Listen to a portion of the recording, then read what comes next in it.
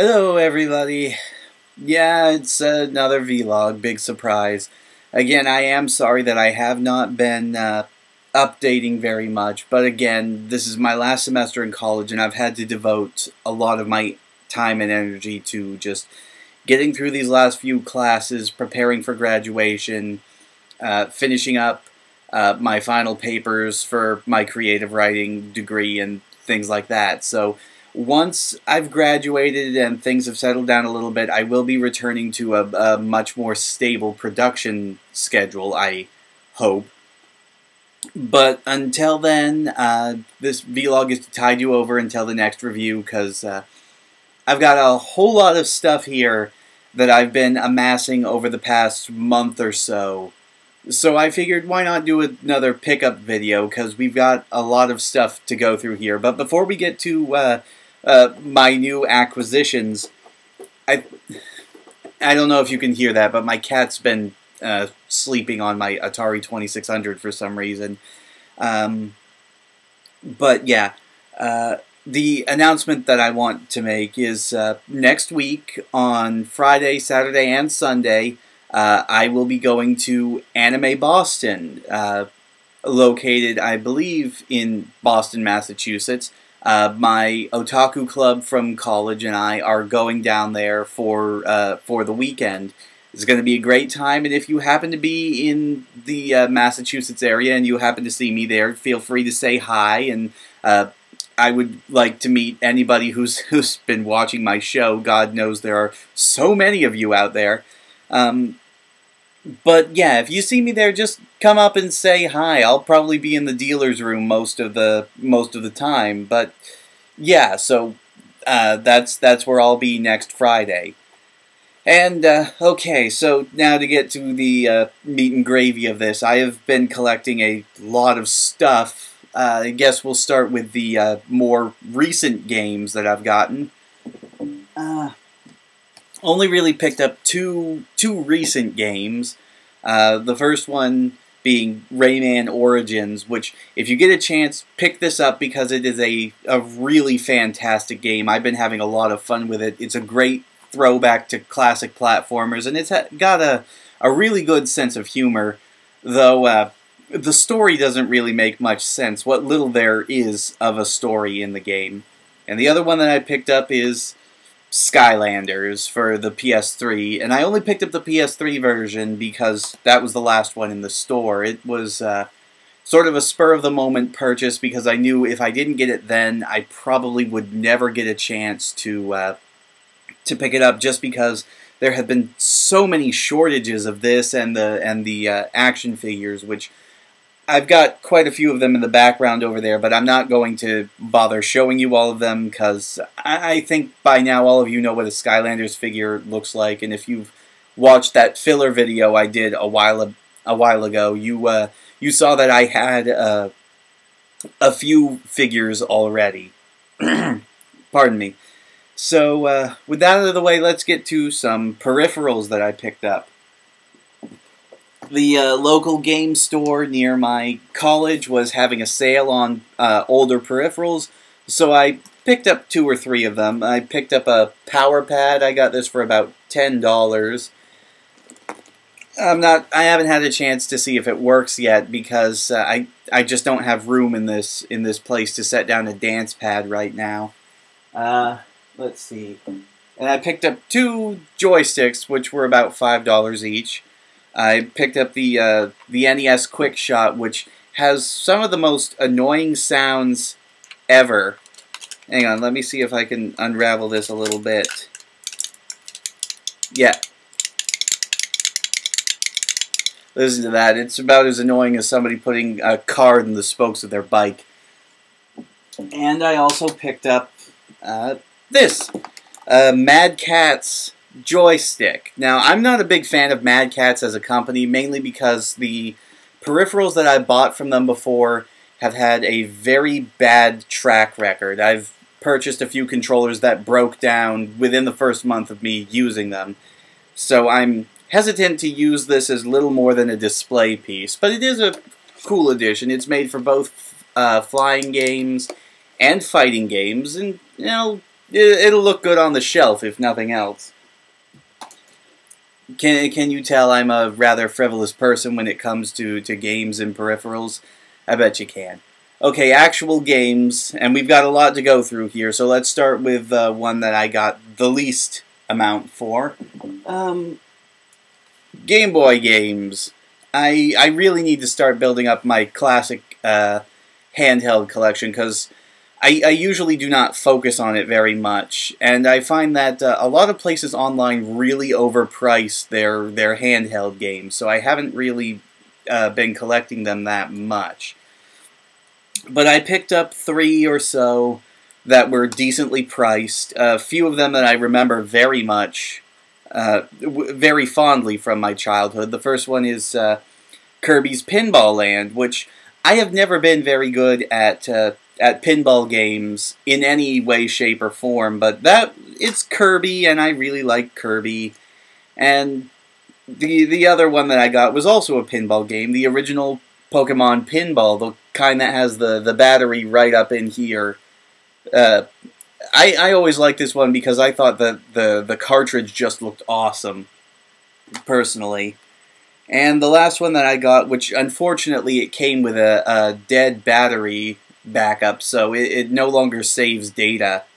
And that's uh, the original Robopon, the Sun version, which if you don't remember Robopon, it was one of those games that sort of, it got really big in Japan, but sort of floundered in the United States, and it was kind of trying to capitalize on the whole uh, creature catching uh, phase that the original Pokemon started this this was a time when like Dragon Warrior Monsters came out and Pokemon was out and and then Robopon followed up with it. There were a whole bunch of games just like this.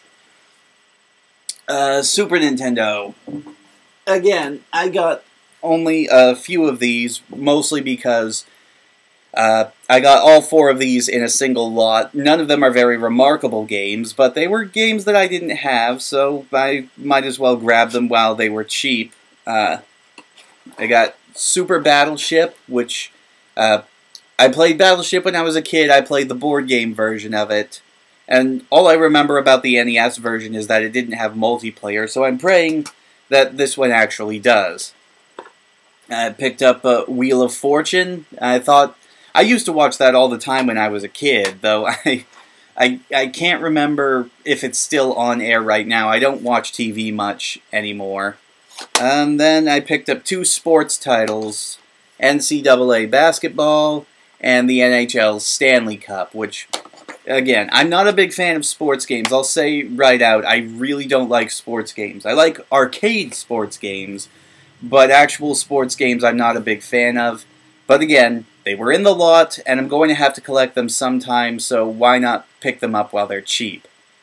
Uh, let's see, what's next? Uh, NES games. Let's go with that, shall we? I got a lot of NES games to show you. Hang on.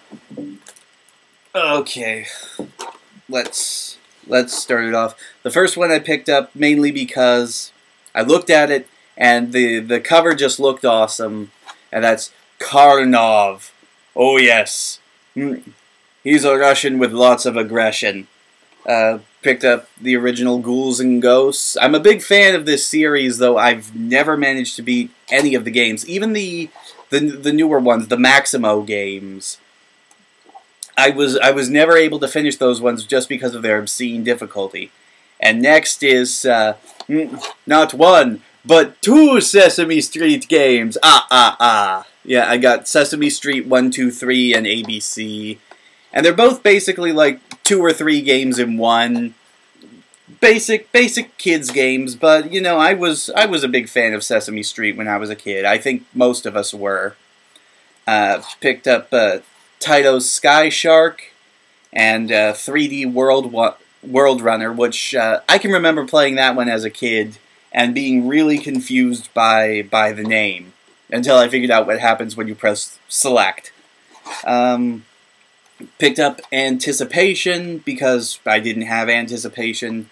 And it's an okay game. It's it's not a very good game, but it's okay. Uh, then we have The Adventures of Bayou Billy.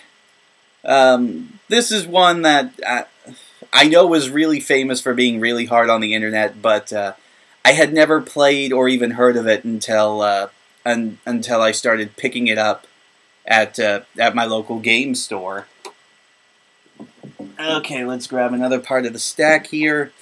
Uh, picked up the original Gradius, and uh, kind of an odd choice for me because I have never been very good at shooter games either.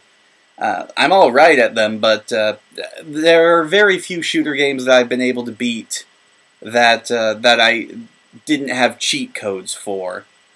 Uh, then we got Stinger, which some of you might remember Stinger as as uh, Twinbee instead, and some of you might have also played it on the uh, the Xbox Live Arcade. Uh, Destination Earthstar, really confusing game. I I really don't have any idea how to play it right now. Uh, great game by HAL right here, Kabuki Quantum Fighter. If if you get a chance, I highly recommend this one. I think it's a bit of an overlooked platformer. Uh, same cannot be said for The Adventures of Tom Sawyer, which is a really crappy, crappy game. This is not like the the the Famicom version at all. It's uh it's it's a really really broken platformer, whereas the the Famicom version I think was an RPG. Uh, got Dragon Power, which uh, most of you in the know will know that this was originally uh, Dragon Ball, the game, which was released as as Dragon Ball in both Europe and Japan. But when they brought it over here, since Dragon Ball was not a very popular show at the time, they just renamed it Dragon Power and changed around all the names and stuff. Picked up Bad Dudes. Oh yeah. Don't don't that just look good? It's it's not good. Um, Ultima Quest for the Avatar. Now, I've been a really big fan of Spoony's retrospective of uh, of the Ultima series, and that's basically what got me interested into it. Uh, I don't play a lot of PC games, I'll say that right off, but when I realized that a few of these games were on the NES, I started looking into it, and I found this one for like two or three dollars, I think. It was a really good deal for a for a game like that. No, we're we're not done with NES yet. Like I said, I picked up a lot of NES games recently. Uh, picked up the original Batman game. Of course, that's a classic. Uh, Captain Skyhawk again, one that I'm not really. Uh, I, I'm, I'm not really familiar with it. It's made by Milton Bradley, so I'm kind of uh, on the fence about it. Hunt for Red October, great movie, frustrating game, and uh, severe lack of Connery in the game. Uh, Adventures of Dino Riki. Uh, now imagine my surprise when I got home, put this into my NES, and discovered that it was a vertical scrolling shooter with a caveman and dinosaur theme. Uh, the the generically named Demon Sword, which it's all right. Um, very difficult to get the the hang of, but it's it's all right for the time it was made. I picked up the the triple pack here of uh, Super Mario Brothers Duck Hunt and World Class Track Meet. This actually came with the uh, with the uh, well, the power pad. Sorry, I blanked there for a second. This actually came with that, and uh, now I, am actually having trouble finding the uh, the individual carts for those. Um, it's real easy to find like the Super Mario Brothers Duck Hunt, but finding just Super Mario Brothers or just Duck Hunt is actually kind of difficult right now. Um, Mickey Mousecapade. Now I know that a lot of people don't like this game. I'm one of them, but uh, I I have a soft spot in my heart for for classic Mickey Mouse stuff. So, eh, picked it up, and um, good old Spy Hunter, a game that I was really good at when I was a kid, and a game that I am really crappy at now. I have no idea what happened, but I am really out of practice with this one.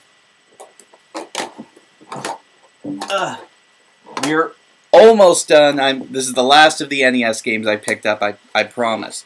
We've got Astyanax, uh, or however the hell you say that. I'm really not sure. Uh, fantasy game, kind of kind of.